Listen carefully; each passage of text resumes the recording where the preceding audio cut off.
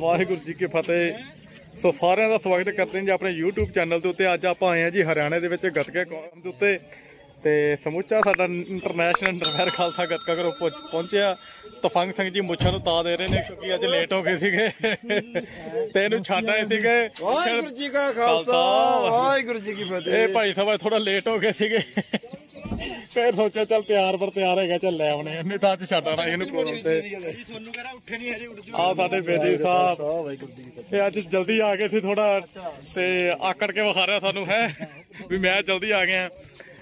ਸੋ ਤੁਹਾਨੂੰ ਚੋਲਾ ਕਿੰਦਾ ਪਾਇਆ? ਛੋਟਾ ਛੋਟਾ ਪਾਇਆ ਹੈ ਨਾ ਗਿੱਟੇ ਤੱਕ ਆਇਆ ਹੋਇਆ। ਥੋੜਾ ਹੋਰ ਥੋੜਾ ਨੀਚੇ ਤੱਕ ਆਣਾ ਚਾਹੀਦਾ ਸੀ ਪਾਣਾ ਪਹਿਲੇ ਵੱਡਾ ਬੜਾ ਪਾਉਂਦਾ ਸੀ ਹੁਣ ਛੋਟਾ ਚੋਲਾ ਪਾਉਂਦਾ ਲਓ ਜੀ ਅੱਜ ਹਰਿਆਣੇ ਦੇ ਸੰਗਤਾਂ ਨੂੰ ਗੱਤਕੇ ਦੇ ਜ਼ੋਰ ਦਿਖਾੜੇ ਆ ਜੀ। ਇੰਟਰਨੈਸ਼ਨਲ ਨਰਵੈਰ ਖਾਲਸਾ ਗੱਤਕਾ ਕਰੋ। ਬਾਜ ਸਿੰਘ ਜੀ ਵੀ ਆ ਆ ਪਤਾ ਨੇ। ਨਹੀਂ ਰੀਸਾਂ ਬਸ ਤਿਆਰੀ ਹੋ ਚੁੱਕੀ ਆ। ਤੇ ਥੋੜੇ ਟਾਈਮ ਦੇ ਵਿੱਚ ਨਗਰ ਕੀਰਤਨ ਦੀ ਆਰੰਭਤਾ ਹੋਣੀ ਹੈ ਤੇ ਆਪ ਜੀ ਨੂੰ ਦਰਸ਼ਨ ਕਰਾਵਾਂਗੇ ਸਾਡੀ ਸੰਗਤ ਦੇ ਤੇ ਗੁਰੂ ਮਹਾਰਾਜ ਜੀ ਦੇ।